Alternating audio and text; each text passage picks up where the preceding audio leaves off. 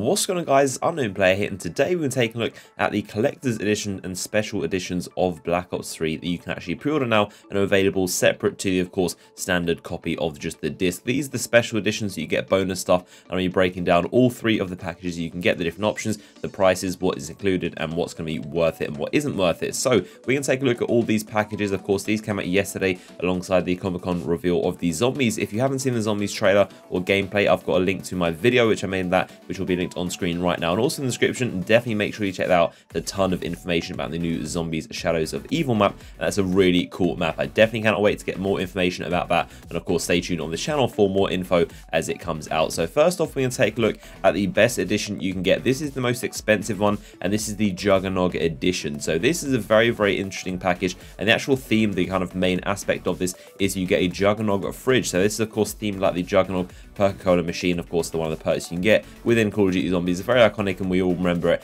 And this is actually what you get with it. So it's a mini fridge. You can store 12 cans of any drink in there. So you can actually put like cans of Coke or whatever inside your Juggernog mini fridge. And it's actual real fridge that you get. So it's a pretty cool item, to be honest. In terms of most like pre-order bonuses, you'd get like the RC car with a little like Dragonfire drone and uh, night vision goggles. They're all kind of cool, but sort of gimmicky. The mini fridge is actually pretty cool. Something you can actually use to store drinks in there. So I guess it's quite functional and it's of course themed like the Juggernog Perk-a-Cola machines. That's a very, very cool thing. That's, of course, the iconic part of the Juggernog edition. I'll put a link in the description to Amazon if you want to check it out and kind of have a look at what the price range is and what's included. I'm not sure whether Amazon have sold out or not. It depends on when you're watching this video and what location you're in because different locations, of course, have different stock and different stores. There are different retailers that have different deals going on. So you do have to check around for your local location. I think Amazon's always a good bet to go and also Game and GameStop if you're in the UK or America. So there's a ton of retailers selling this stuff. And of course, this Juggernaut edition is what everyone is going after and it's the most expensive one. It currently is going for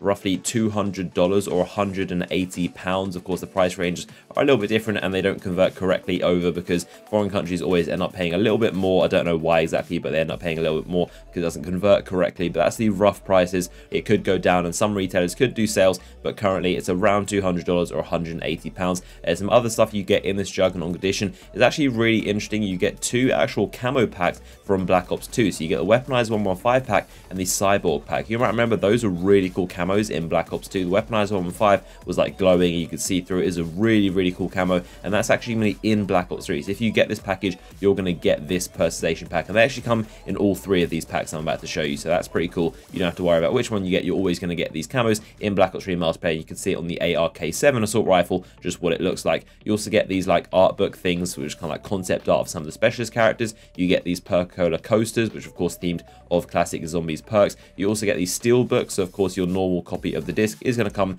in this very cool steel book with some unique zombies and multiplayer art in it. You get the season pass, which is probably one of the most cool parts about this because you get all four of the DLC packs that come out, so map pack number one, two, three, and four, which of course going to have like probably four multiplayer maps, one new zombie map, and maybe some bonus stuff as well. But you're going to get all four of those DLC packs that come out in 2016 for Black Ops 3, and you don't have to worry about paying for those separately. You might also get some bonus access to some early weapons like Advanced Warfare. If you had a season pass, you got early access two weeks to the brand new weapons. So there's probably going to be some extra bonuses as well. You also get a very, very cool feature. This is the Giant, which is a zombies map. It's called the Giant, and it's a remake or kind of remastered version of Der which of course is German for the Giant, and that was a classic map that's in World at War Zombies and also slightly remastered for Black Ops 1. But uh, this is going to be fully remastered. It's going to continue the story with the four original characters, so of course Takeo, Richtofen, Nikolai, and Dempsey, and you're going to be able to continue where the story left off from Origins, and it's actually going to continue with those characters. That's really cool, and that's of course going to be a remastered version of Der Riese, which is a very, very cool and very classic zombies map.